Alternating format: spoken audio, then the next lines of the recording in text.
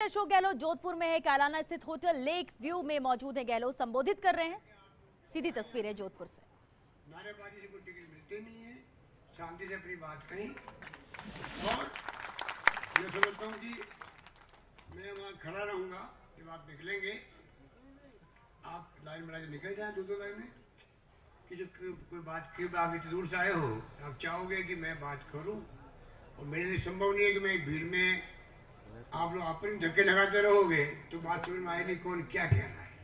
तो कल जो मैंने एडोप्ट किया तरीका, वो मैं आज खड़ा हूँ आप आराम से निकलते जाओ और मेरे कान में गपशप करते जाओ। और मेरा आना कम हो गया थोड़ा। मैं बनान दे रहा हूँ एक एक सीट जोधपुर ज़िले की एक एक सीट आप जिला कांग्रेस कमेटी के लोग बैठे हैं, कुछ लोग बाहर के लोग भी आए हुए हैं। टिकट मिलने के बाद में, टिकट मिलने के बाद में अपने ईमानदारी से हमें उसको उम्मीदवार जिताना है। ये आप दिमाग में रख के जाएँ या संकल्प में मन में सुगुन लेके जाए। हमें कोई मेरा, कोई दूसरा, कोई साथी, दोस्त कितने पक्का होगा, वो भी कहेगा, मैं बात में नहीं आऊँगा, मैं अपनी बात पे अटल रहूँगा। देश हित में कांग्रेस से देश हित में कांग्रेस से और राहुल गांधी ने कभी, आपने कोई भाषण सुना पूरे हिंदुस्तान में? उसने कहा, मेरी दादी की हत्या हो गई है, मेरे पिताजी की हत्या हो गई कभी कहा उसने आदमी ने?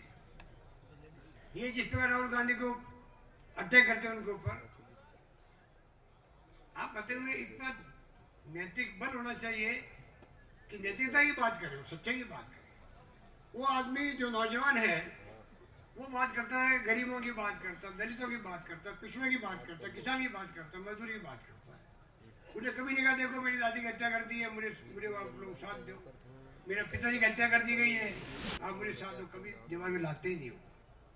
तो एक तरफ़ तो ये संस्कार है, और दूसरी तरफ़ आप देख रहे हो क्या संस्कार है। पूरे खानदान को बदनाम कर रहे उनको बदनाम कर रहे हैं। अब पोल खुल चुकी है। अब खुद बदनाम हो रहे हैं। अब ऐसी स्थिति आ गई है। सोशल मीडिया में अभी इतनी खबरें आती है। उनको खुद के हिसाब आने लगे। दो लोग राज कर देश के अंदर, अमित शाह, नरेंद्र मोदी। दो लोग राज कर सकते हैं कभी किसी देश के अंदर? आज देश के अंदर सिर्फ़ दो चेहरे हैं। उनकी पोल खुलने वाली है। और ये पोल खुलेगी तो बीजेपी वाले खुद भी उनको नहीं पूछेंगे, ये मैं कह सकता हूँ। स्थिति इसलिए मैं ये बातें आपसे करके दीपावली की राम राम के नाम पे बुलाया आपको। और गपशप कर ली काफ़ी ज़्यादा।